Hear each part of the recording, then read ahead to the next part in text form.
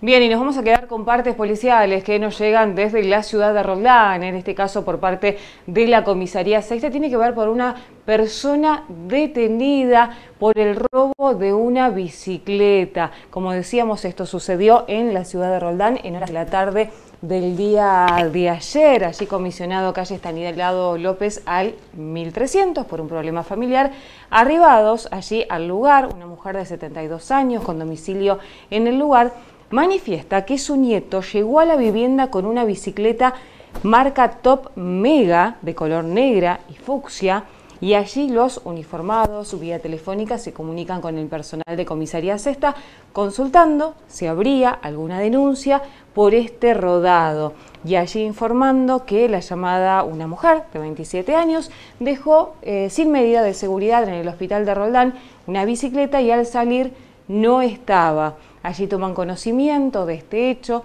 como decíamos que fue denunciado por un familiar de este joven. Allí ingresan al domicilio, procedieron al traslado de este hombre de 25 años y el rodado a la comisaría sexta de la ciudad de Roldán a fines de regularizar su situación. Interviene la Fiscalía en turno. Como decíamos, este robo de bicicleta en la ciudad de Roldán, que fue denunciado por un familiar que cuando llegó a la casa se encontraba con, esta, con este rodado con esta bicicleta y eh, pudieron constatar que había sido robada por una mujer que lo habían, perdón, había sido robada a una mujer que lo había dejado fuera del hospital en la ciudad de Roldán.